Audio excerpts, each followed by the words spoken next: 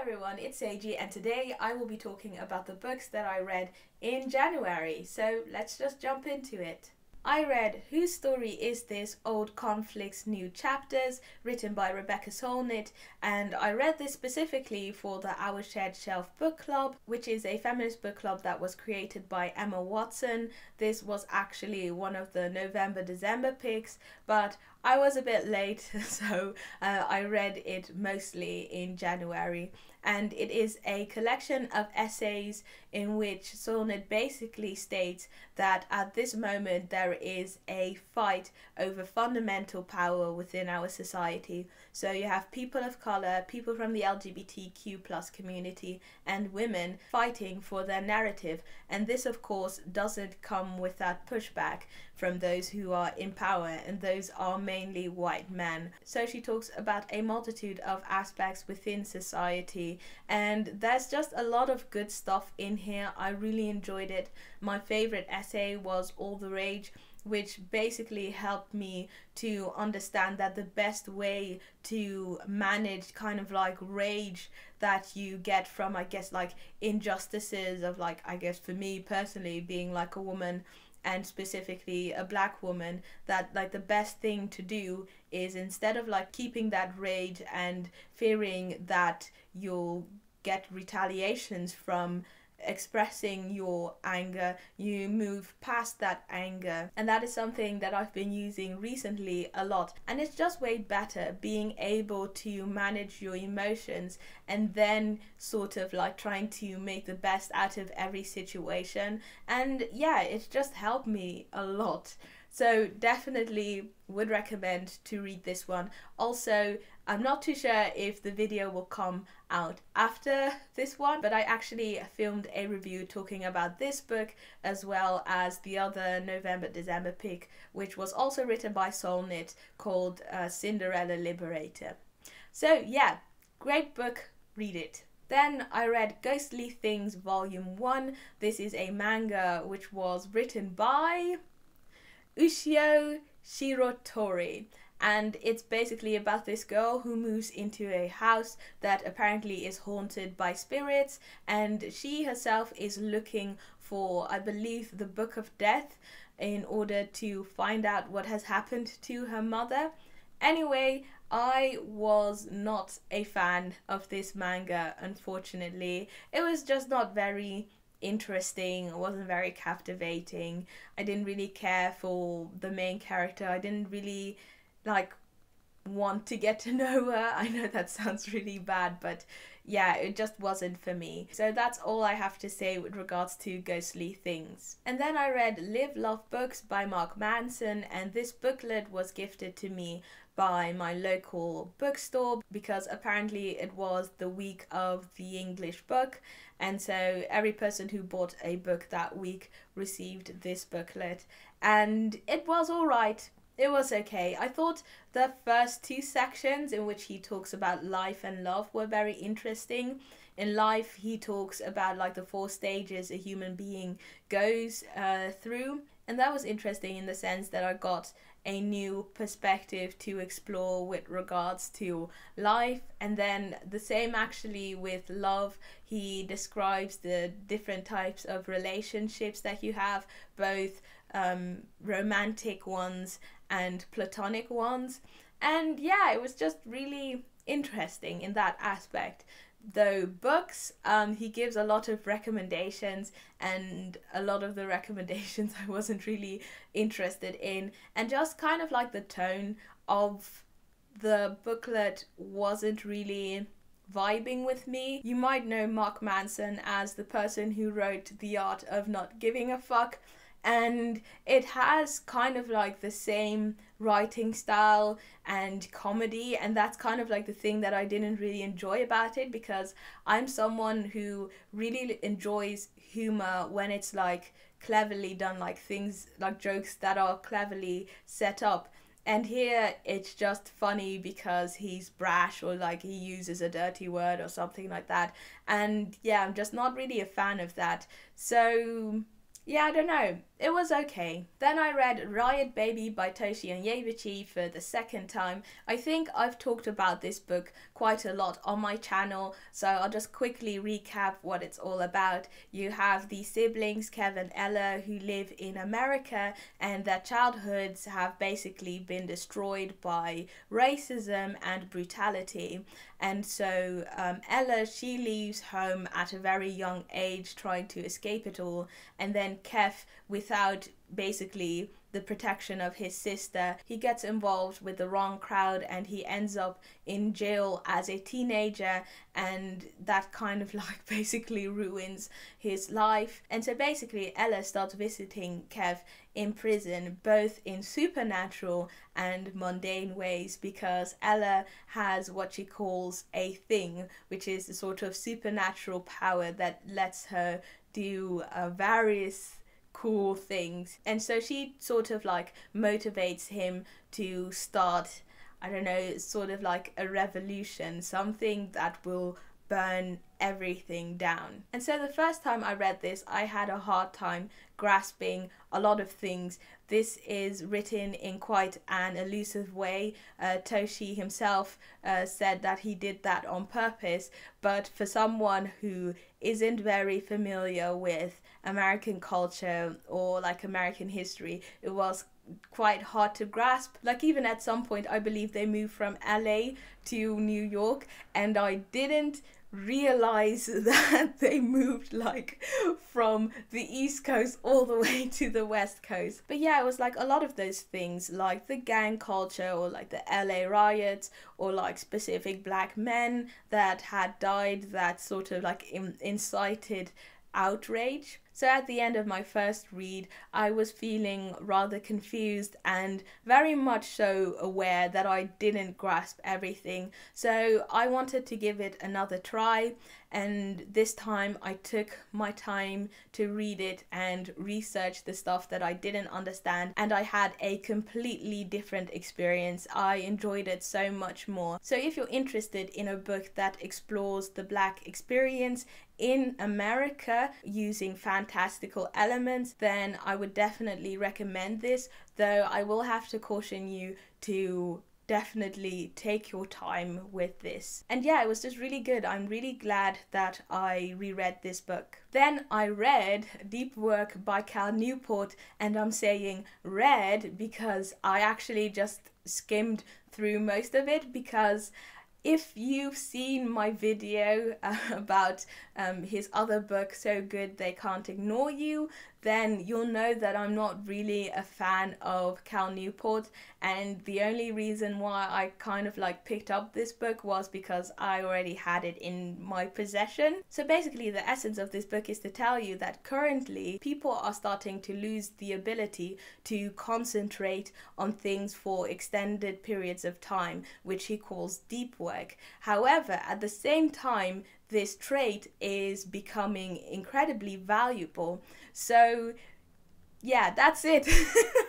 He's basically saying deep work is very important. So, if you want to be competitive in the job market, it is a skill you should work on and cherish.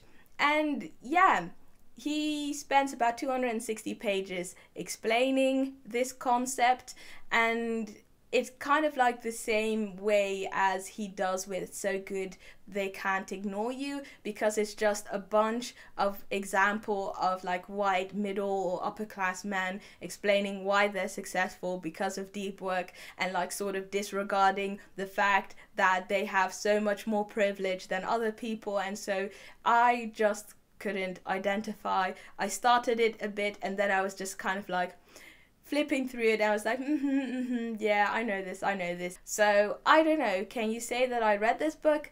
I don't really think so. I actually just counted it as a DNF in my reading log. Then I read Dangerous Alliance by Jennieke Cohen, and this was for the Epic Reads Hebban Book Club, which is like a Dutch website where you have these different book clubs and you can sign up, tell them why you want to read the book, and then if they approve, they send you the book. And so that's what happened to me with this book. Basically, this book is inspired by Jane Austen's work, and it's about this girl named Lady Victoria. At some point, her older sister flees from her husband back uh, to their home, basically stating that she's being abused. And so, if for instance their father would die, that would mean that the estate would be handed over to her sister's husband, which isn't that great. So now Vicky has the problem of trying to find a husband as soon as possible. And so she ends up with three possibilities, but she doesn't really know which guy she should pick. Now, this sounds like an interesting premise. Also because there's some mystery because apparently like in between like the story people are trying to kill Vicky and you don't know who it is. You have all these mysterious accidents that occur. But the thing that I didn't like about this story is that after a hundred pages, you already knew who she was going to pick. Basically, because two of the three guys were assholes. and also because of the fact that this story was written from two different perspectives. Basically, Vicky's perspective and one of the suitors. So who would you think would become her husband? So yeah, that kind of like bummed me out because I still had like 300 pages left and I already knew what was sort of going to happen. And so you had a few surprises here and there, but like the main thing which for me was actually the romance uh, that one, um, yeah, didn't do it for me. And apparently, the other people that were in the book club felt the exact same way. So we were kind of like, oh, oh gosh. But um, yeah, I finished it and it was as I had predicted. So yeah, other than that, like the writing and stuff like that, that was fine. It's just the romance was just too predictable. Then I read Salt Slow by Julia Armfield, and I read this for the Belletrist Book Club, which is the one that was created by Emma Roberts and her friend Karah Preiss. This book was a short story collection that centered around women and their experiences, and it included fantastical elements as well as gothic ones and mythic ones. And yeah, it was very interesting. I wasn't expecting it to be as dark as it was, but I actually liked it even more because of it. However, I don't know, for some reason, it took me a very long time to get through all of the stories, so I don't know exactly what it was that I guess sort of like prevented me from like just ripping through the entire collection because after having read all of the stories there wasn't really anyone that I say like oh wow I really disliked it. I actually thought they were all quite clever and interesting. But yeah, um, I'm still stewing on this question as to why it took me so long. But maybe it's just reader's fatigue because I actually did read a lot uh, back in January. Then I read four volumes of the vampire manga Happiness um, by Shuzo Oshimi. And yeah, this is just a great manga series. I love it so much. Like it's dark, it's easy to grasp, and it's just a lot of fun. Although I do have to say that sometimes it's a, a bit unnecessarily sexual. But yeah, that is something that happens a lot when it comes to manga. I don't know exactly why, but I don't know. At some point, after having read so much manga, I don't know, it just doesn't phase me anymore, and I kind of just like roll my eyes or just tune it out and just focus on the rest of the story. And uh, yeah, same happened here. Uh, I really enjoyed it. Also, because at some point it switches focus and there's like a time jump, and it's just really interesting seeing how like people becoming vampires I don't know, like influence like people's life. Whoa, what a shocker. I know. yeah, it's just a bit silly, but it's like great entertainment. And like I said, you can finish one of those volumes in like an hour, so you can go through it rather swiftly. Then I read book two of The Wicked plus the Divine, and this one collects issues 12 up to 22, and I really enjoyed it. I do have to say that I did enjoy the latter half more just because you had this huge arc over these 22 issues and it finally came to its end so it was very exciting.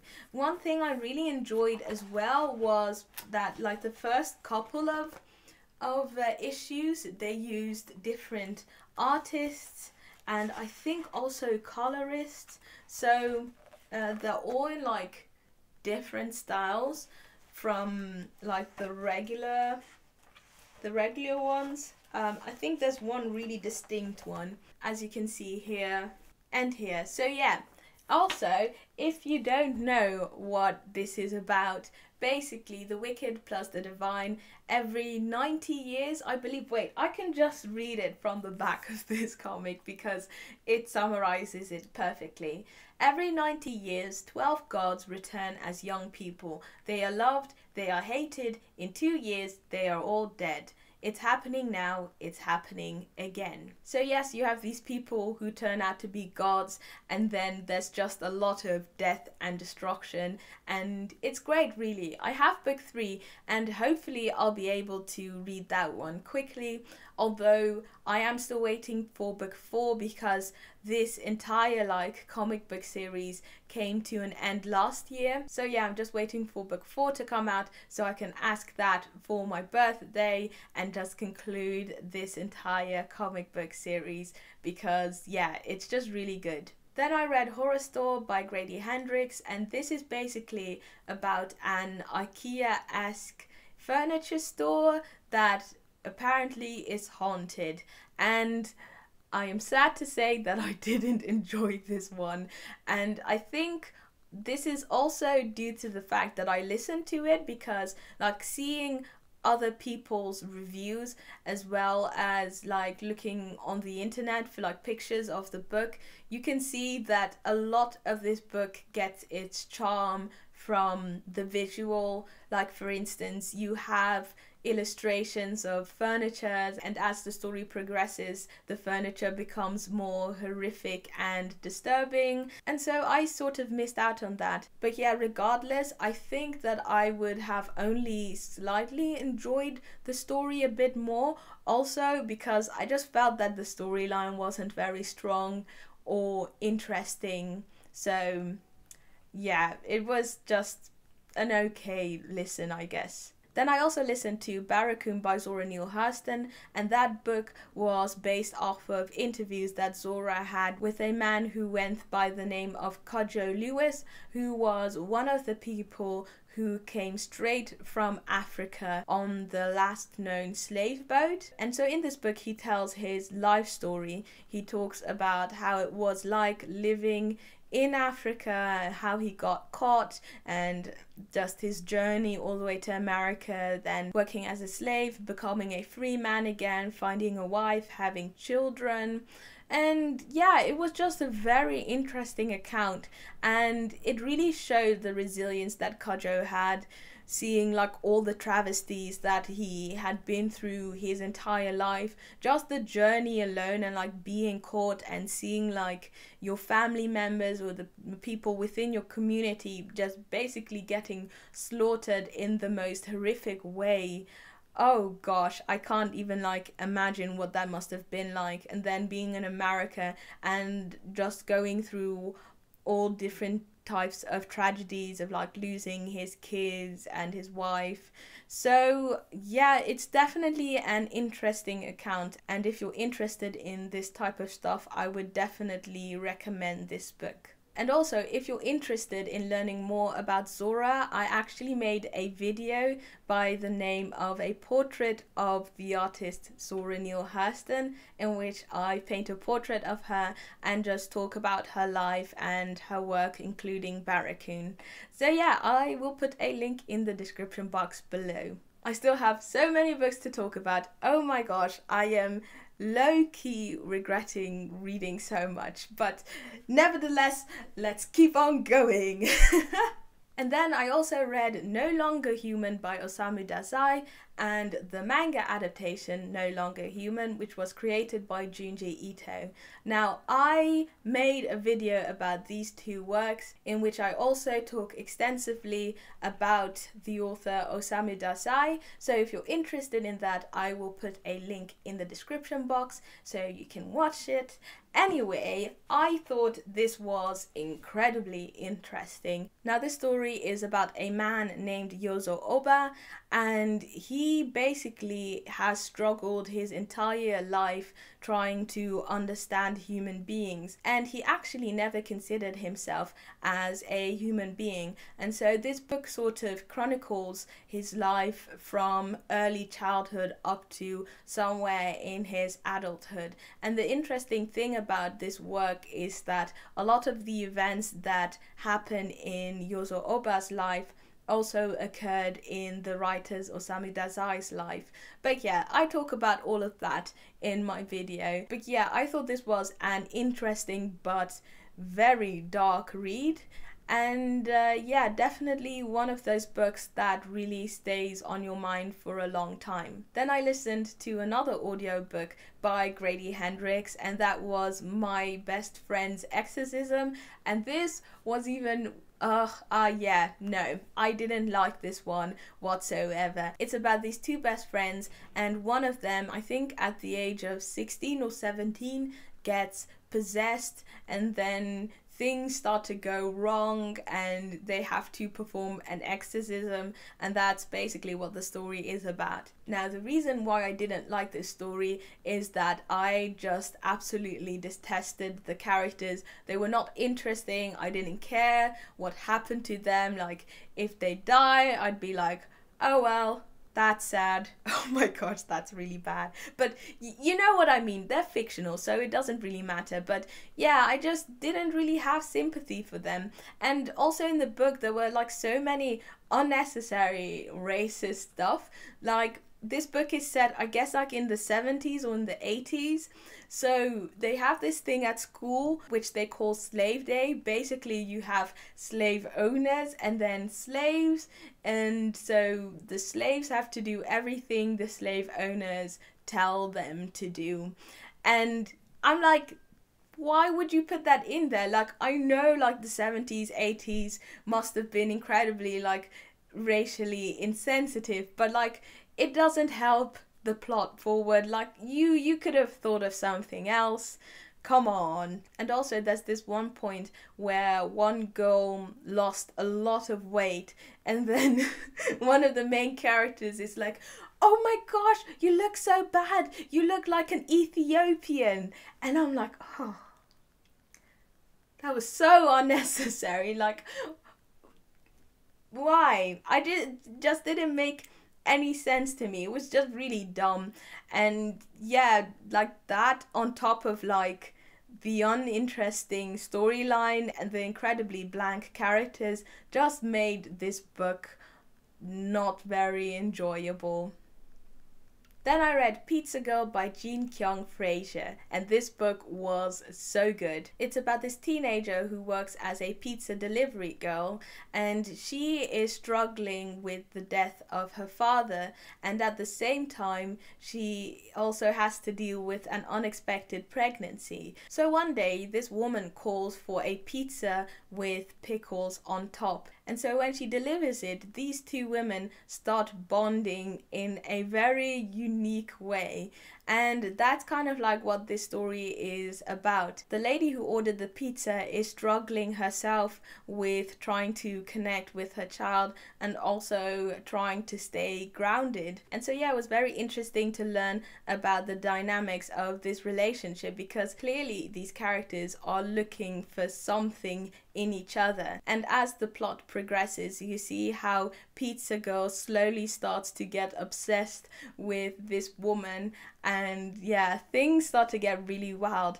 And yeah, I just really enjoyed this story. It deals with a lot of difficult topics, but that isn't to say that the entire atmosphere of this book is dark. It's actually sometimes even funny, and I think that's such like a true depiction of what life is because although there are struggles in your life, there are always kind of like these funny and weird things going on at the same time. So, yeah, like I said before, I really enjoyed it and I would definitely recommend it. It comes out in June, so if you want to support the author, you can pre order the book. Then I also read Earthlings by Sayaka Murata, and Granta was so kind to give me a copy. This book comes out in October, and in it, Murata revisits the theme of conformity, of what happens when you're not able to or willing to conform to society. Now, I can't